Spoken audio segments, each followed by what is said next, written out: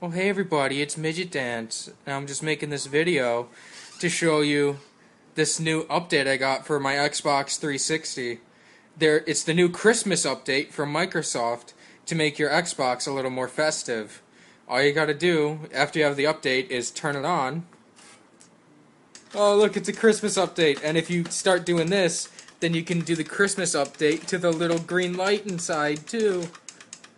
It's so festive. Oh god. Microsoft, you're such a good company. Thank you for the Christmas update.